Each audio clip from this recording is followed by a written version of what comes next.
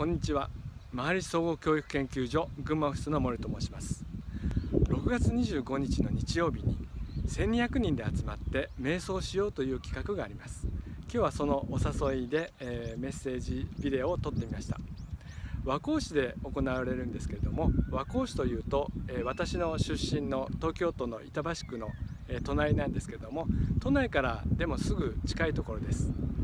全国の皆さんが集まって瞑想するめったにないチャンスですので是非一緒に瞑想しましょう。私が今いるのは群馬県の千代田町でこういうところです。ちょうどあの桜が咲いて気持ちもいいので外に出てきて撮ってみました。